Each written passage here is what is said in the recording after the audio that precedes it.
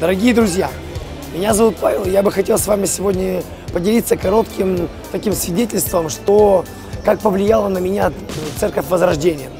Я, казалось бы, всего два года да, в церкви, но за эти два года моя жизнь кардинально изменилась. Э, в сфере здоровья я получил исцеление позвоночника. Бог меня полностью освободил от табакокурения, алкоголизма и, самое важное, наркомании. Я, и сейчас Господь работает с моей душевной сферой.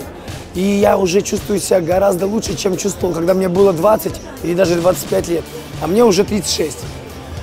Э, я очень благодарен, что Бог сам лично меня привел именно в эту церковь. Я очень благодарен посвящению апостола Владимира и пастору Виктории.